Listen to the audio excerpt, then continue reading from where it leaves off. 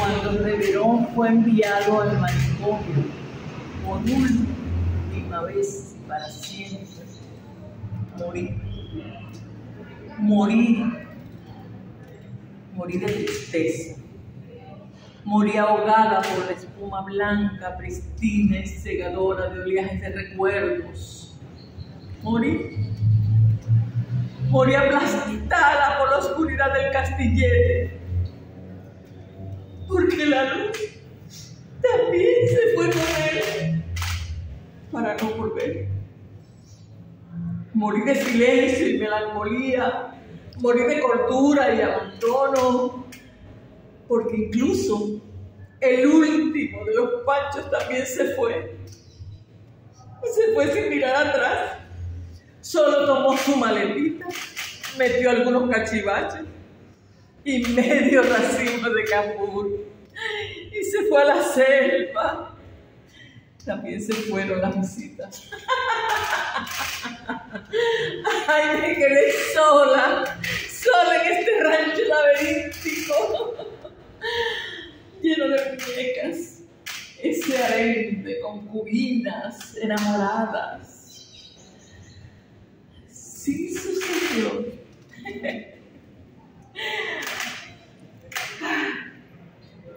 También una por una.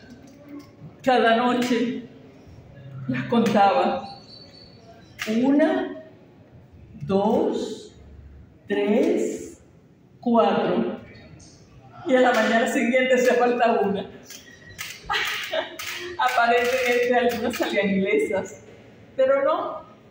A una la encontré tratando de escapar.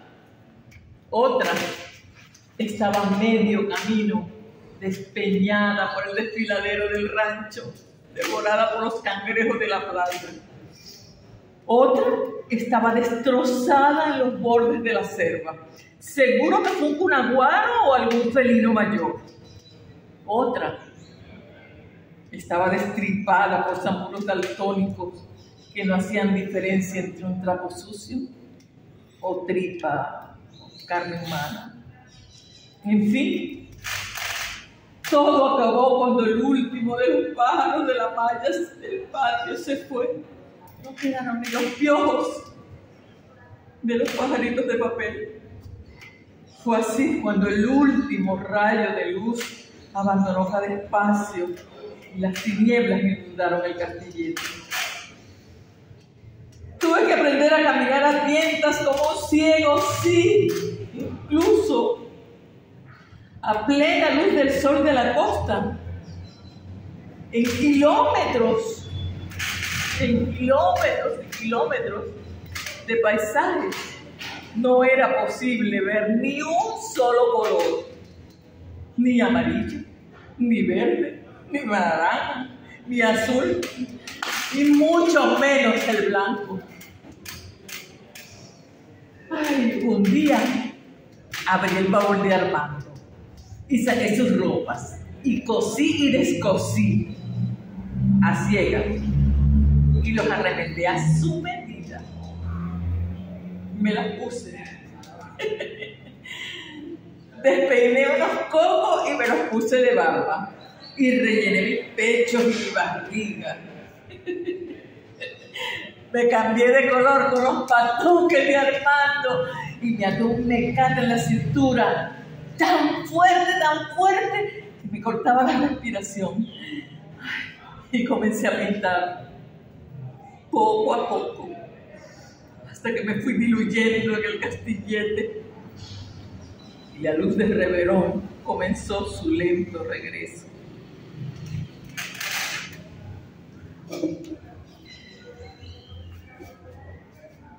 Juanita trabajaba todo el día. Un nuevo pancho se ofreció para oficios de portero las muñecas regresaron del más allá en medio de gritos espeluznantes. Dos pájaros regresaron con sus esposas e hijos. Mientras tanto, en la celda de un psiquiátrico, Juanita Mota moría rápidamente de tristeza, de soledad, de oscuridad y de cordura. Y allá, Desde, el, desde la estrella, Armando Rivero la dibujaba, día y noche, con el recuerdo fijo de una obsesión, traerla de regreso y con ella el resto de la luz.